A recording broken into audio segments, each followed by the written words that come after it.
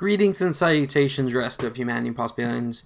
Is your boy FreakEasy Gaming or Daniel, whichever one you prefer, coming at you guys in the video. And today, I'm going to be talking about three things I do not want to see in Fallout 4.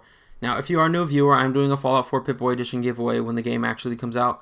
So if you guys want a chance to win a Fallout 4 Pip-Boy Edition, uh, all you guys got to do is subscribe. It's a winner is going to be chosen in December.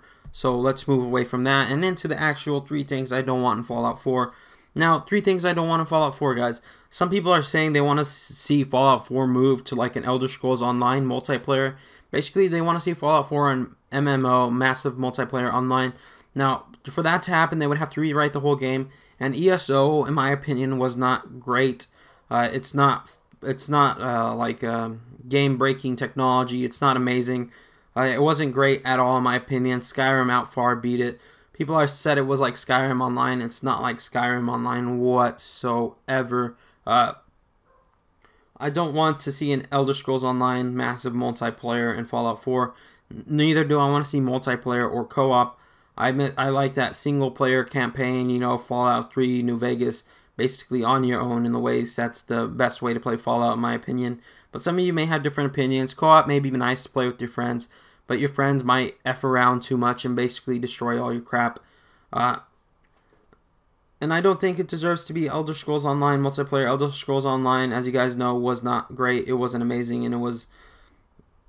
It, it's not Fallout 4 worthy, that's all I'm saying. Uh, the next thing people are saying that they want to see in the game, which I do not want to see, is basically make Fallout 4 pay to play. People are saying you should be able to buy XP packs. What I mean by XP packs is basically some people want to see uh, basically you pay five actual dollars, whether it be on the Microsoft Store or PSN. You pay five real dollars for like 500 XP points or 5,000 XP points. You pay uh, $10 for 10,000 XP points. You pay uh, $20 for 20,000 XP points, so on and so forth, basically all the way to 100 bucks, basically 100,000 XP points. Now that's ridiculous in my opinion. They pay to play does not belong in Fallout. They're also saying they want to see like a, uh, oh, you should be able to buy uh, cool guns that are only available for purchase. I don't want to see that at all. The only thing I want to see basically uh, purchasable in Fallout or DLCs, maybe themes for your actual PlayStation, and that's it. Uh, you know, uh, pay to play doesn't belong to Fallout. It doesn't. It's never, in my opinion, if Fallout 4 was pay to play, it'd probably ruined the game. And then, but uh, that's it, guys. I don't want to see it become pay to play at all. I'm pretty sure many of you guys would agree with me on those two things. The third thing I don't want to see in the game is glitches. Glitches, glitches, glitches. I don't mean unlimited bottle caps or unlimited ammo or unlimited stim packs. I don't mean glitches like that. I mean uh, like black hole glitches. What I mean by black hole glitches is basically when you get to a certain part in the game, uh, you go back the next day and all your save files are corrupt they're no longer there you have to uninstall the game you have to reinstall the game and then basically you have to start over from scratch. Uh, or you get uh, like crazy crazy into the game. Again like i said uh, you get to a certain part and there's like a broken quest. I don't want to see no broken quest glitches.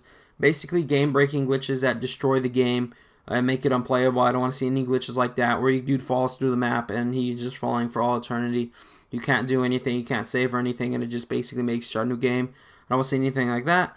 I'm pretty sure many of you guys would agree with me. Uh, but anyways, guys, uh, some things you should expect from the channel. As you guys know, we're all going with option 2. If you don't know what option 2 is, uh, go check out my other video. Basically, I'm going to be doing a, a, playthrough series on Fallout, uh, uploading all the main quest side, not, blah, blah, blah, my bad. I'm doing option 2. Um, I'm sorry, guys, I, I got so used to saying that so I have to actually get off saying that. But uh, basically, option two was uh, you guys want to see a playthrough series. You guys want to see uh, the how-to uh, videos, the best places to loot and find materials, the unique weapon locations, all the bobblehead locations, all the tips and tricks, all building guides, news, the tech reviews, and the vlogs that are obviously always coming to the channel, and much more stuff like uh, the best strategies, locations, and items and places to loot, and all that good stuff. Uh, so we're doing that with Fallout 4.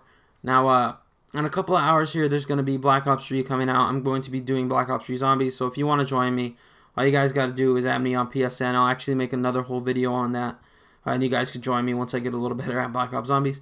But anyways, guys, it's been your boy FreakEasy Gaming. I love each and every single one of you. I hope to see you guys right back here tomorrow. And remember, stay freaky.